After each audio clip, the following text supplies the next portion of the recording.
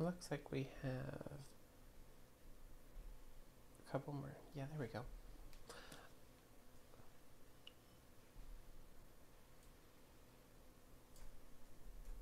I'm going to reshare the document link for the new people that joined. If everyone can go ahead and jump into the doc and log their attendance while you're in.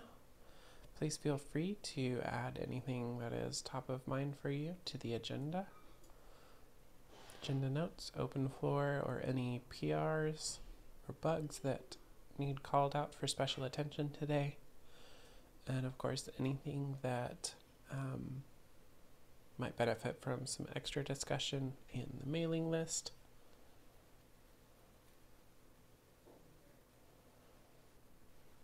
Looks like we have some talking points about the release, release guidance, and Hacktoberfest. But if anything else come uh, is on your mind, please please add that. Looks like we have room to add.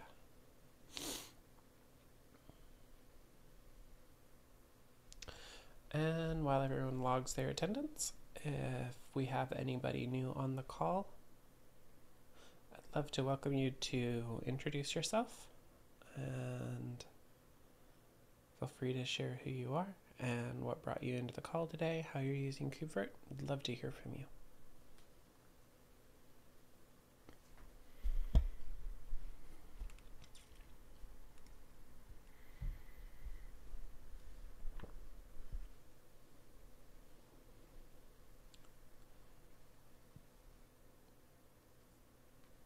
I'm going to give it just another minute for people to fill things out and get logged in and add items to the agenda.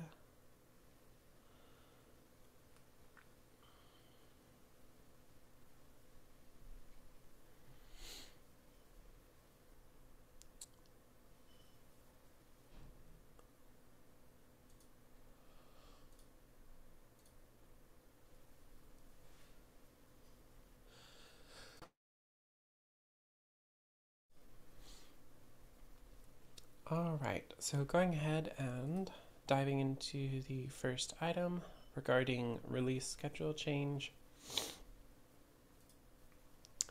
Um, sweet, it looks like we. Hey, yeah, this so this merged. Um, I want what I just wanted to do was to if we if we have everyone we have uh, a few folks I wanted to see if we could have a discussion on this because um, just to walk through what's expected from the timeline. Um, so I don't know is, uh, is Daniel here or um, do we have? So I, I don't know if we have everyone, but that's okay if we don't. Um, what I just wanted to raise at the very least was, you know, what what this means, what this change means. And so very simply, um, the you know everyone's familiar with the current release schedule for KubeVirt is monthly. Um, and so the the change in this proposal um, means that it's going to uh, KubeVirt's going to follow the Kubernetes release schedule. So this is going to be three times a year, and so it's going to operate on a, a 15 week cycle uh, where we go through this 15 week cycle and we have a bunch of checkpoints along the way, and then eventually uh, we release. And and the 15 week cycle is basically designed to follow the same thing that Kubernetes is doing, but it's also meant to trail Kubernetes. And so that's what I'm trying to show in this diagram here is um, you can see that you know as part of um, as part of the this um, discussion that Kubernetes is going to be you know like at one two six for example as week 34 in the year, um, the uh, Kubernetes starts its 126 cycle. Uh, that's sort of its week one of its 15 week release cycle. And then as uh, part of that, um, you know, that's when right around where KubeVirt would want to start its release cycle for the, the next upcoming release. And then the conclusion for Kubernetes 126 would be um, so near the end of the year, which is in December uh, December fifth, which is the week uh, the last week of their cycle, and then KubeVirt's release would um, follow that with uh, within a few weeks. So basically, um, so the, the takeaway is that a three releases a year. And the thing that I did want to discuss is like if we had if we had the right folks is you know how we should target this or sort of when should we start doing this? And this even though this change has merged um, should we target the next release which i think is one it might not be 057 it might be 058 um, should we target it toward this um, toward this uh, to this date? So it, it's really a question of okay do we have the infrastructure in place to to do this? And you know any steps that we are missing to know, if we can enumerate any steps that we're missing to actually to do this. So I, it was really an sort of an open question or discussion. If we, you know, what's the what are the next steps to really start executing on this uh, plan? So I don't know if we have everyone here. I don't know if Daniel's here or if we have others that want to comment. Um, do people think that makes sense? Like, should we look at doing the next so the next, so we're at September 21st. So I guess the assumption is that there would be a release at the end of the month here with um, probably the 125 release. I think that's what's going to correspond to. Should the next release be um, following? So no releases until we do till 126 would be the, the change. But if we don't do this, it would be we wait till next year. Um, we wait till 127 to start our cycle. Does anyone have any opinions on that? Do people think it's too late or should we start the cycle now? So one question I would have is, um, should we announce this type of release change in the release notes of the last release on the previous cadence before we start the schedule? Sure. Yeah, I it's in the release notes since it just merged. Oh, um, and so what I what I what I want to do is to, you know, follow up. I want to go to this meeting and then follow up on the mailing list as well.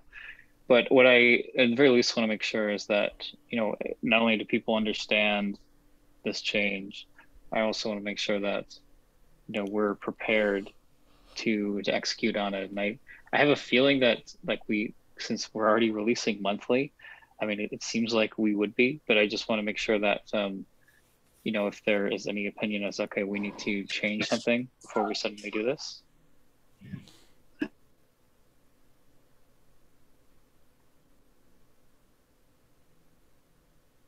Um, one thing, hello, can you hear me? Yep. Cool. Uh, one thing that we talked about last week, and I've got uh, half an email written to send out. Um, apologies for that is about how um, this change will impact things like the release notes, which um, instead of uh, what I say last week, um, on average 20 something release notes going out, we'll have, you know, three to four times that. And um, is there a way we can better categorize those release notes in GitHub so that we can, when it comes to automating those release notes, they already get filtered into um, uh, distinguishable categories. Um, so I don't think that's something we need to solve now, but it is something I just thought I'd, I'd bring up from last week.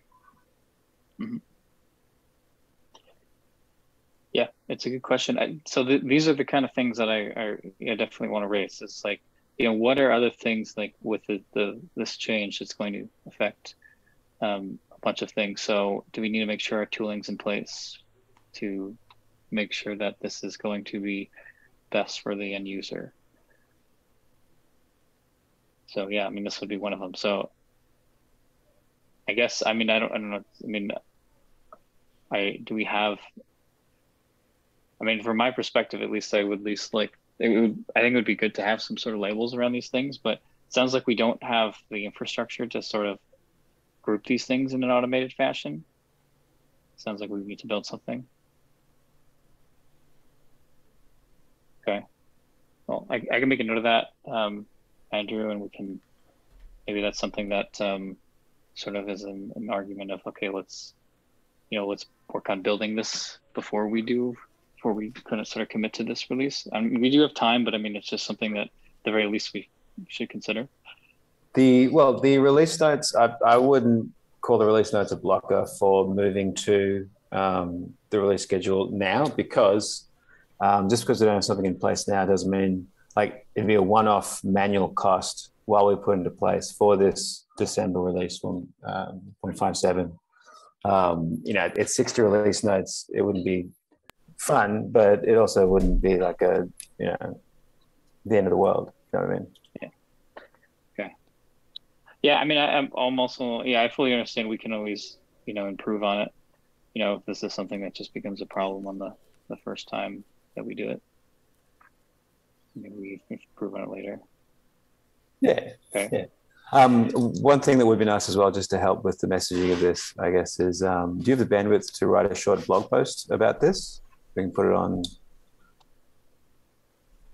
Yeah, I can write a blog post for this. I, I want to, so I'm going to write an email about it just with the description of like kind of why, just because in case people didn't read the description in the PR, just to have it on the mailing list. And um, that's fine. I can put it in a blog post as well. So uh, in terms of like, you know, uh, like, so in terms of getting this out there, like we're in September, um, you know, we have, you know, roughly three months, you know, before the I, so I guess what we're saying is we'd have roughly three months for the next release. Um, so well, say I do a blog post, we have the mailing list thread. You know, um, is that enough to say like, okay, um, we're going to make this change now?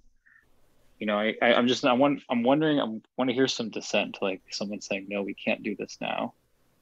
Like I want to hear some reasons why. Otherwise, to me, it's like if I don't hear anything, then it's like, well, then I, I then we should just go for it. I think it's fine, but I, I'm not hearing anything. So if if that's enough, like we can do, you know, get people to get the word out with, you know, some blog posts, emails, whatever. Maybe that's not much of a problem. Hey Ryan, uh, Brian here. Yeah. Uh, we, Hey, Brian. we were talking about this earlier on in the week, and there's a bit of a lead time when delivering the KubeVirt CI providers. So at the moment, we don't have a provider that's testing the 125 version of Kubernetes. Okay. So there's just that little bit of lead time there that we need to kind of shorten that lead time. So we're looking at maybe delivering providers with release candidates of Ku- Kubernetes versions so that we have a provider ready in time to test KubeVirt against the latest version of Kubernetes bef- as a, as a, as a, as it's released. Okay. so the release of 125 was around end of August. Okay. So like I and so my estimates were like that this could take, you know, like, you know, about right like four weeks or so. Like it could take a little bit before we have a provider. Um so like I have that so I have that kind of in the estimates. Like it, it'll take a little while. Like we're I kind of have a range of like a certain amount of time that we expect that before we do a release. Yeah, so that's that's fine. Yeah, I just see that So- you're- you have an estimate for the 125 release to be around the end of September 26th. And Yes. So this. So okay. So for this. position- Yes. So for this one, um, I would say uh, I, I don't. I don't think we should do the. Um, I don't think we should sort of do start. Like what I'm saying is like we wouldn't start our cadence, or we wouldn't start our um, the next release, which is the one that I'm saying it would be in December. We would start working toward that one today. So we would continue with the current release process, which would be the end of the month. Um, for for just for for September, and then starting in October, we sort of march toward. We switch to instead of doing monthlies, we we are we make our next target um, after 126 is released. So sometime in December, January. That makes sense? So like we wouldn't we wouldn't so like the same the so like let me ask this in the the current release um, for the next release for KubeVirt um, is going to be end of September, right? And that would be targeting Ku- Kubernetes 125, right? That would be one of the support supported Kubernetes versions. Is that correct? Yes, hopefully, hopefully we'll have a provider in time. Um, Okay. there's still work ongoing on the provider, so it's not not available yet. Okay. So the so what I'm saying is the this release would be the same as normal, and then the next one is going to be um, is where is is where we you know we do the next release in December. So that that would be the that'd be the change. So I what I'm saying is nothing we nothing needs to change now or this month. Sorry, just to clarify. You, we would have a release at the start of October, and then our next release, we would basically just skip November and would have a release at the end of December slash January, which is then fully in step with the Kubernetes release. Yeah, that's right. Okay, gotcha. So it then that that first release, the way we're following the Kubernetes release, would be slightly shorter than what we'd then be rolling into after that. Yeah, so this one's always shorter because of the holiday in December. Okay. So this one's always a little bit tricky. So, um, and also taking into account too that like you know Kubernetes targets early December, so and because they you know there's the opportunity of it slipping, so that they can try and squeeze it in before the before the holiday. So uh, take this is fully taking into account that potentially them slipping and then us you know having to be in the middle of the holiday and then pushing all the way you know until December. That's that's totally built into this. That's that's fine. So it's it's going to be a, this one's going to be the last one of the year is going to be a very wide range. Cool. You can't see me, but I'm nodding furiously. okay, so I um so Brian uh in terms of this provider um so um so okay like at least from my expectations kind of get back to that point it's like I expect there to be a range of time uh, not only because I, of Kubernetes releases being delayed, but I, I understand there's a lot of work that goes into the provider and getting it to work. So it's going to be, you know, whenever whenever that release is available, you know, then begins our, you know, our our work towards, um, you know, we have our release candidate that we would have, you know, right around um, the time or right, right a little before the Kubernetes release, but right around it. And then um, whenever the Kubernetes is released, you know, we, we do exactly what we do today. We work on a release a release provider, um, and then and then it's sort of the same method after that. It's a um, you know it's about I think it's a we said it's the week a week of everything passing in CI, um, no bugs, no major changes, and then and then a release.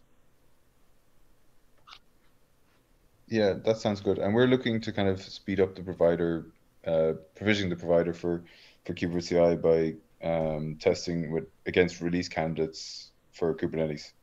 So Okay. so that we can kind of get any issues out early, and hopefully have the provider a bit quicker then. Okay, great. Okay, um, I mean, how, so any other thoughts, like, um, you know, any other concerns? Like, I, I'm at, so like December, like December, January timeline. So, at, so we'll say the next release of KubeVirt is beginning of October, October 1st. And then that'll be the last one on the monthly cadence. The one following that um, is going to be switching to this four month cadence, this 15 week cadence and that release would be following Kubernetes 126, so roughly December to January timeframe.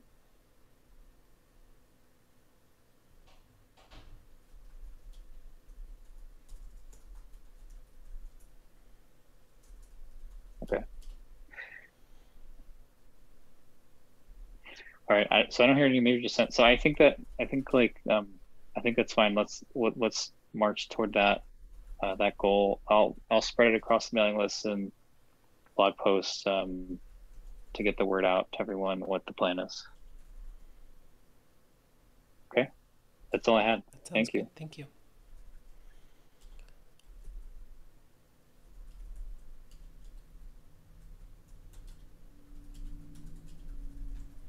All right then. Okay, um, Andrew, do you want to jump into the Hacktoberfest item? Oh, yeah. So earlier this week, I sent out an email um, primarily targeted at the different repo um, reviewers, maintainers um, about the um, what what we would need to do in order to uh, make to opt in any of our repos for Hacktoberfest. So um, I presume everyone knows, but if you don't, Hacktoberfest is an initiative run primarily, but I think by DigitalOcean, and they celebrate and reward people contributing to open source projects. And so it's an opportunity to get um, a, a bunch of eager people who haven't necessarily contributed to um, KubeVirt before, uh, contributing on generally the lower hanging fruit. Um, so I suggested the user guide as a good um, good example of that. And I think we've got some, I think Chandler's on the line. I think we have some good um, uh, potential issues as well to help out with the website. Um, so I don't have any confirmation yet about any of those repos opting in. We are setting up the labeling infrastructure, or rather, Daniel is setting up the labeling infrastructure to make it all happen. Once um, you know, once any of the maintainers of any repos say, "Yep, let's let's do it," I've got some issues here. If that goes ahead, I'm just kind of like um, preparing you all now that it would be really great um, if we could have some volunteers to help triage some of the issues um, if if we do go ahead. I'm specifically thinking of uh, the user guide might require um, people kind of going through and just like making sure various things are, are up to date. And if they're not, then write a um, a contained and concise uh, issue to support it, and then tagging it with the Hacktoberfest label, or going through the um, considerable amount of issues in KubeVirt, KubeVirt, um, and then kind of like triaging ones that would be appropriate for for new users and uh, self-contained and, and, well described. So just kind of putting that out there now, um, and that was it. Thank you. Awesome, thank you, Andrew. Um, last item on the agenda then. Um, need a host for next year's Cube or sorry, not next year, next week's uh, KubeVirt community meeting. I will be uh, in San Francisco for a um, work event. So hopefully, someone on this call is interested and willing in filling in for me. Otherwise, I will be mailing out to the mailing list looking for a volunteer.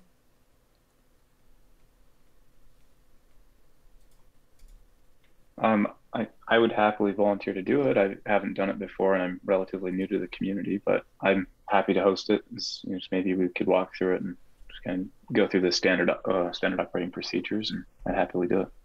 Sure. Um, are you able to ping me on Kubernetes Slack and I'll find Yeah, yeah, I can do that. Awesome. That's great. Thank you. Mhm. And let's see.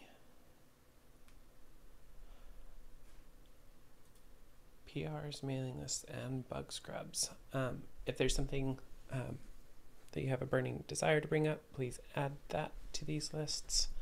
Otherwise, we'll filter through them and see what we can find. I'm going to go ahead and start with mailing list review since Andrew kindly placed some stuff up here look at. VNC is slow on Windows Guest OS. Let's see. I think this came up in a GitHub issue. Yeah. Um, last week, actually.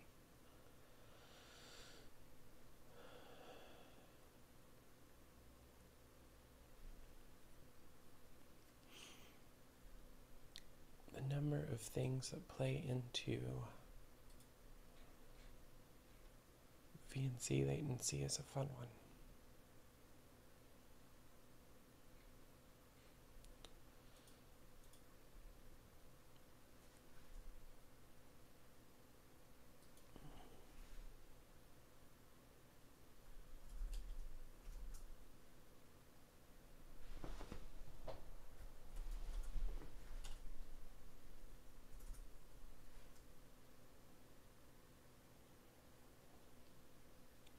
Alicia, do you want to ask out loud? Um, I was just asking if you know if you have a SRI, if we have issue in the SRIOV lane, test lane. Does anyone knows? Hey Alice, I believe we have two kinds of problems. So one of the problems is actually general, uh, not really specific to SRIOV. Okay. Uh, we are hitting um, like memory limits and I'm on it. I probably will have a PR tomorrow for that one. And the second issue is something about MAC address or being not able to reach some kind of net, network connection. I'm not sure. Um, not sure if we are actually investigating this. Uh, I think there's there's an upstream issue for the MAC address issue, Lugo, with the SRIOV plugin. Um, Okay. But that that's a flake that we've been carrying for a while, and yeah, the issue you mentioned with the memory is is the main one at the moment. We're also seeing some flakiness in the storage lanes as well, but so there's the retest emerge at the moment is quite high. So just um, if you have PRs, please be patient. Uh, there's a couple of flakes in, at the moment. Yeah, thanks. Uh, yeah, I I got the memory issue in my PR. Yeah, thanks. just to know. Awesome. Thanks for asking.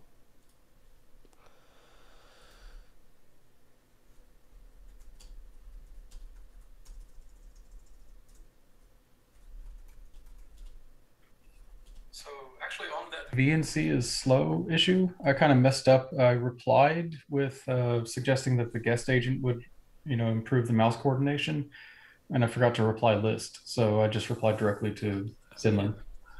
In that case, thank you. Mhm. I'm going to leave that off then for now.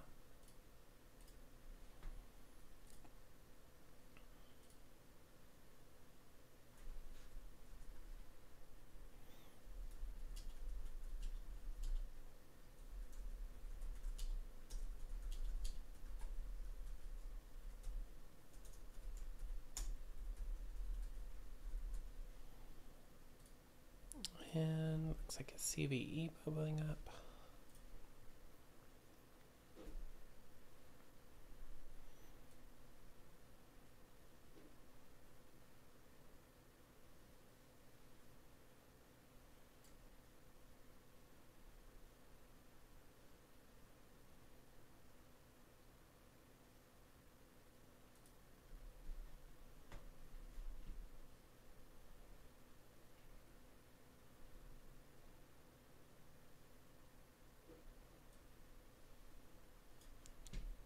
That's an impressive one. Users with permission to create VMIs can construct VMI specs which allow them to read arbitrary files on the host.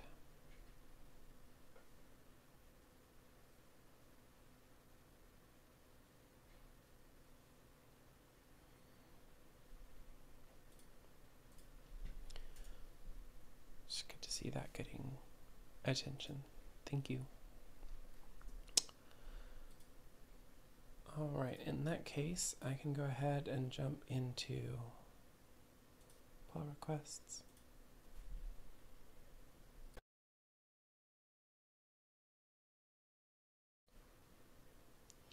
Oh, I think I see a hand raised.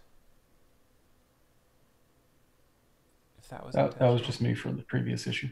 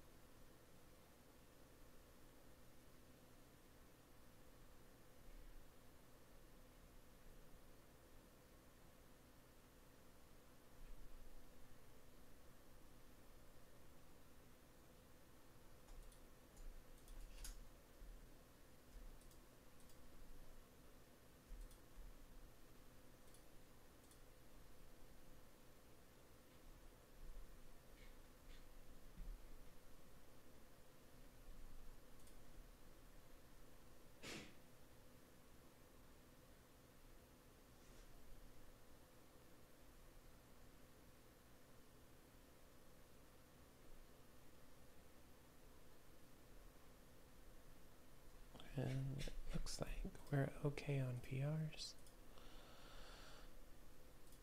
Nothing idle.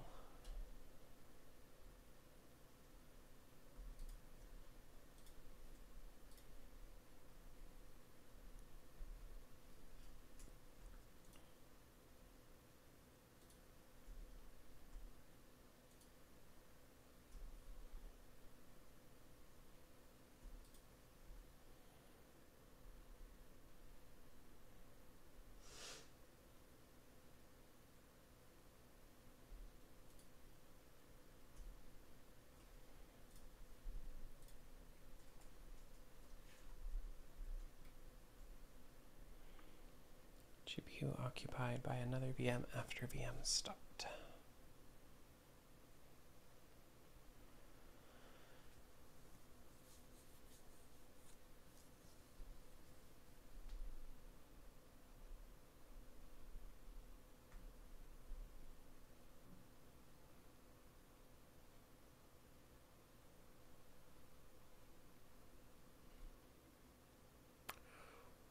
So interesting take.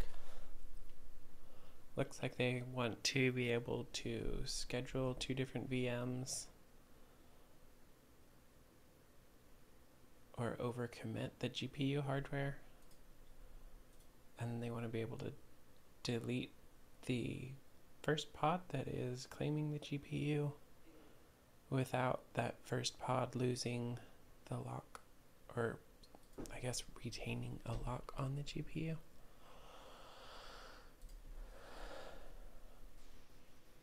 I would probably suggest to uh, somehow difference the, the GPU uh, on a on Kubernetes level. So Mm-hmm.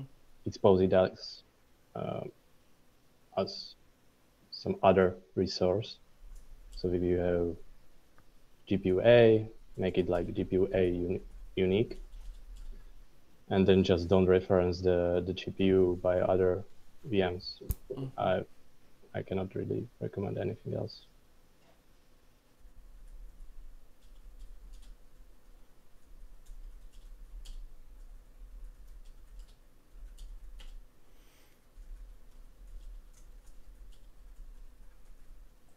But Lubo, is it the um, issue here that the GPU is not released? Really? I don't know if I read it. It's like It says what you expected to happen. Do not release GPU resource when VM1 stopped. So once uh, I'm reading it as if VM1 and VM2 are in contention for the same GPU, VM but VM1 started and claimed the GPU first, they want to be able to stop VM1 without VM1 losing okay. I think I read it the other way. Okay. That's how I read it. If I'm wrong, I No, no, I think I read it wrong. Okay. Yeah, I was I was tempted to think it was um, hmm what you were recommending at first too, and then I had to reread.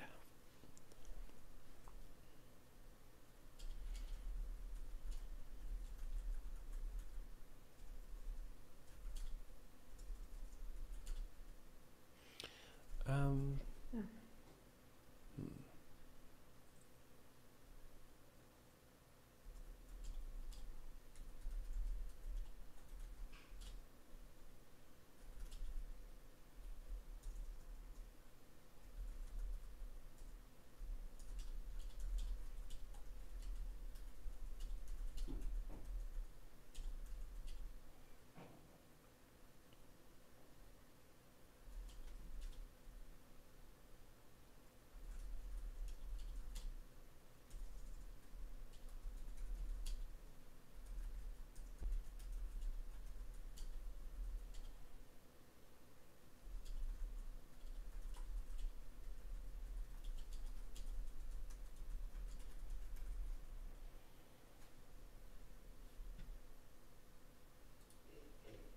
I feel like that was wordy, but I hope I could the idea across.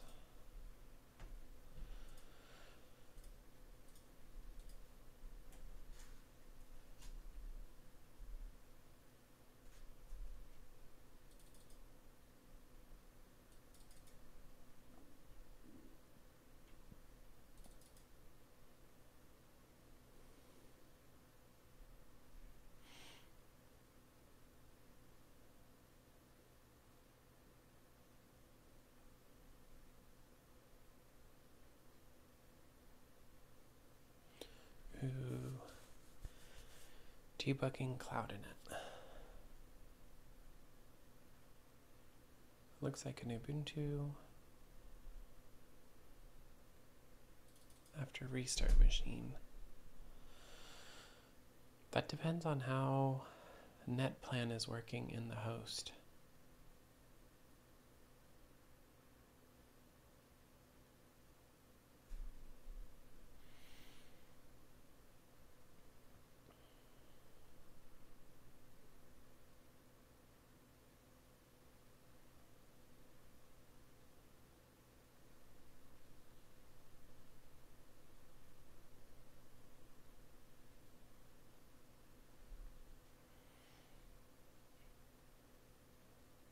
I'm not sure how to. I'm going to think on that.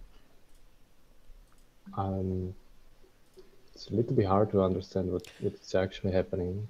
Yeah, I, I mean, I've run into all kinds of, you know, failure to configure network stuff on my KubeVirt as well, but it's the I'm- number I'm- of places to look.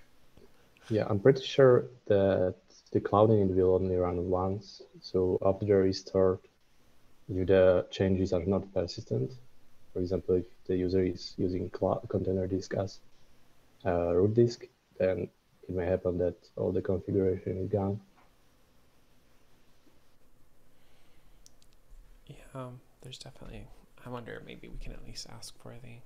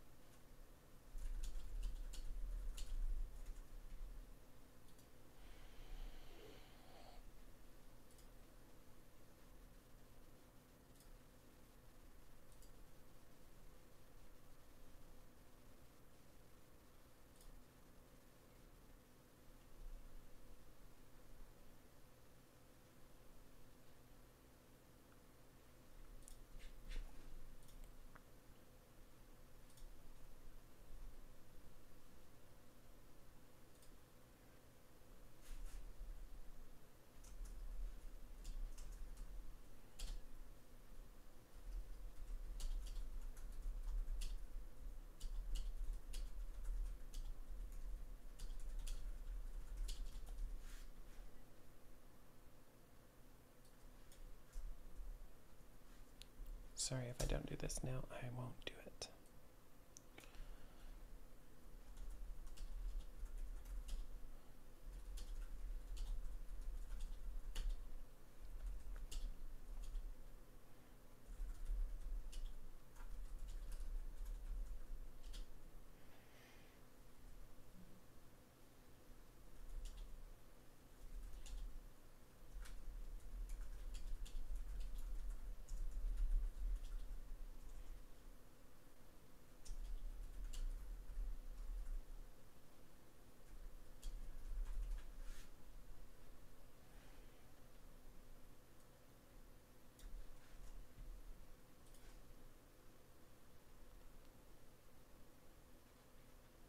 And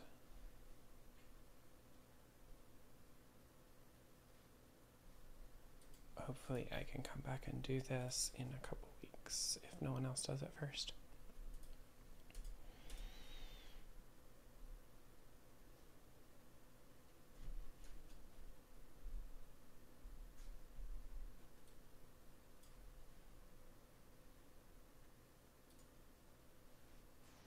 Ryan, can you answer this one?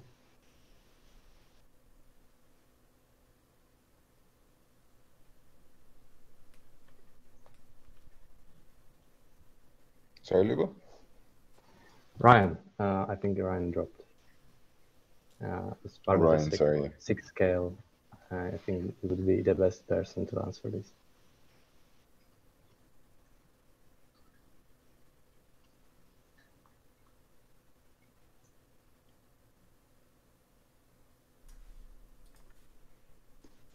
Do we just want to CC him on the issue then? Yeah, let's do it.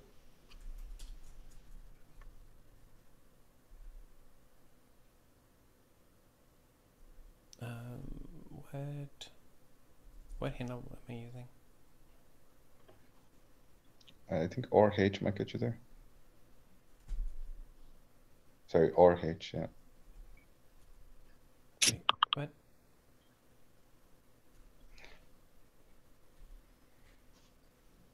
I'm, I'm flying blind. One second, I'll try and get a for you.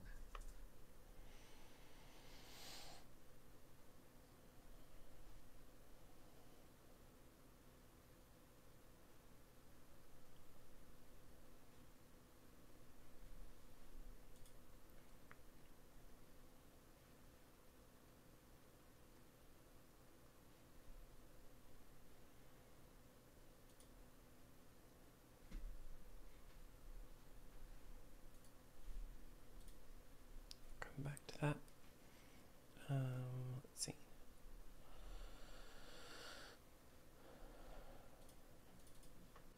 Got it.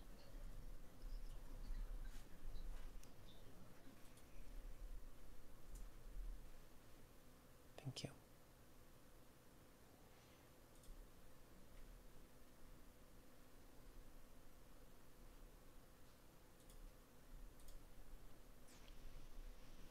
Yeah, yes, this this is uh, no issue. We have a reply on the mailing list for this one, I believe. Yeah. Got it. Yep.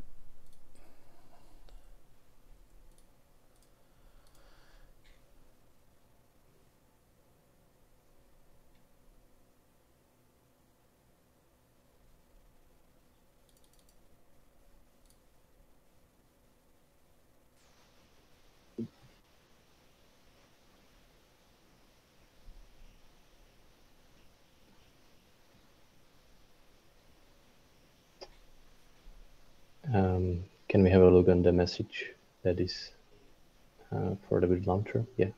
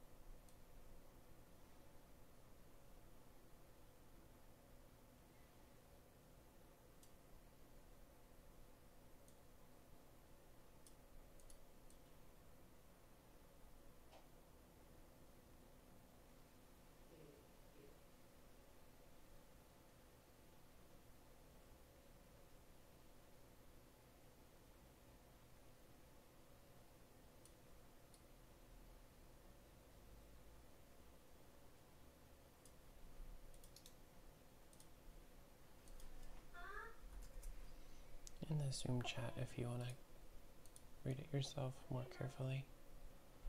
Doesn't look like anything remarkably informative.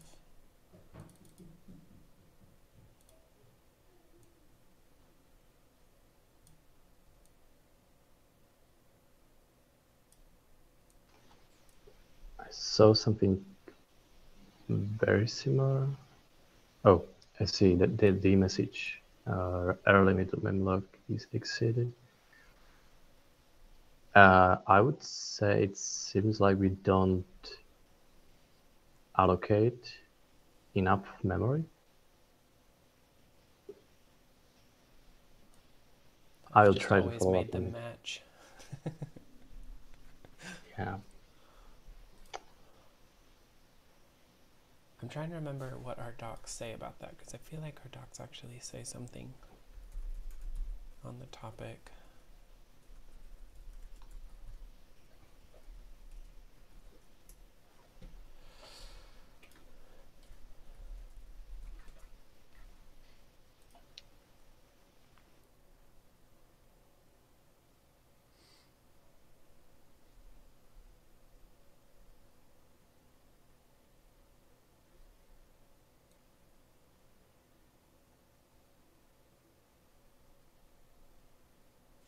Oh, um, probably, probably this is going to be fixed by PR, which I posted to the chat.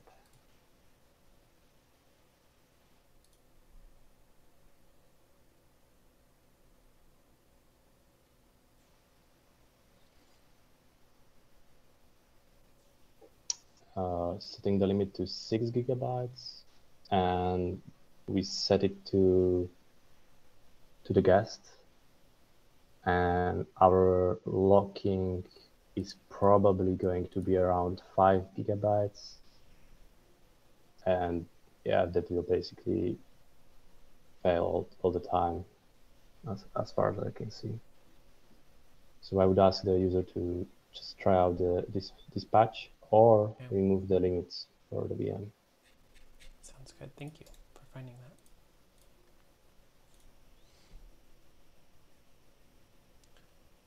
Is there any docs update that should be made in light of the memory setting pull request here? i'm not sure um, maybe we can improve the documentation a little bit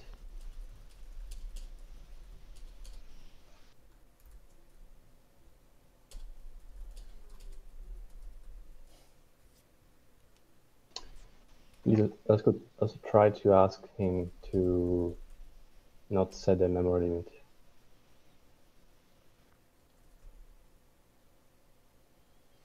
So, in fairness, I guess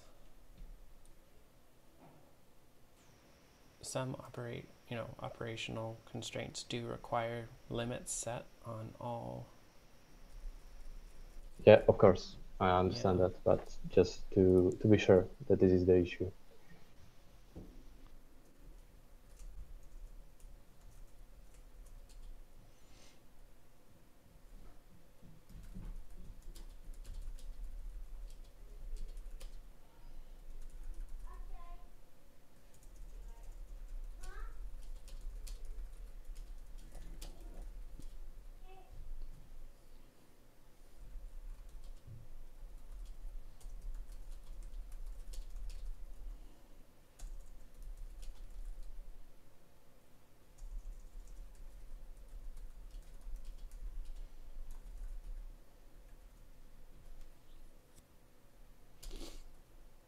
Thanks.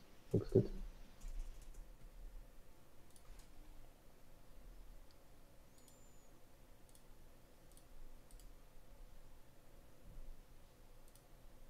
All right, that covers. Let's see.